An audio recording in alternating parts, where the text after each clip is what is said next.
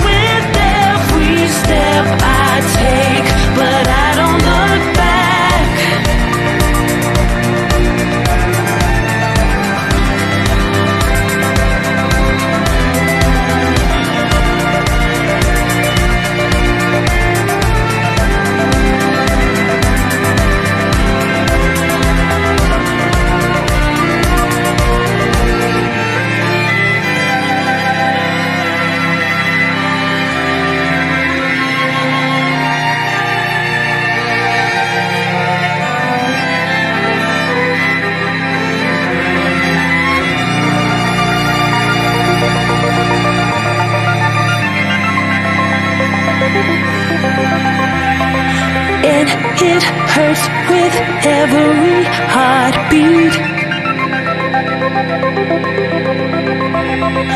And it hurts with every heartbeat.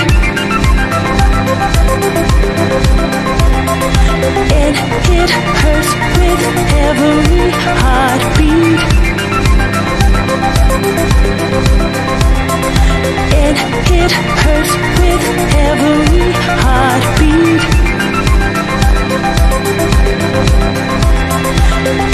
It hurts with every heartbeat.